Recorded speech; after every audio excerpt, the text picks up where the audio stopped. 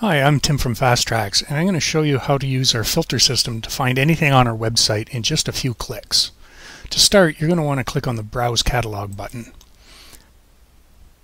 This will open up a set of filters on the left-hand side of the page. You can use these filters to quickly narrow down the products to just the item you're looking for. In this example, I'm going to find an N-scale number 8 code 55 assembly fixture. So to start with, I'm going to click on Track Assembly Fixtures, which is the first item here. The filters are arranged in order of importance, so the next thing I'm going to want to select will be an N scale.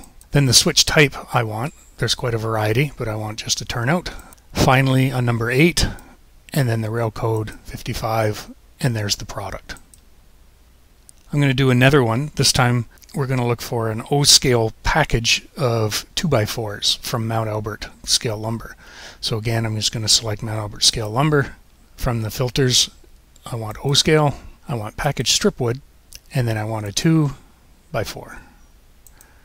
That's going to narrow it down to just an O scale 2x4. At any time, I can add additional filters as well. So here I'm showing a bunch of O scale uh, 2 by material, and I can select from them.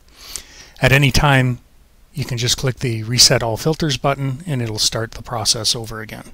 Finally, I'm going to look for an HO scale 43.5 radius sweep stick. So I'm going to click on sweepsticks,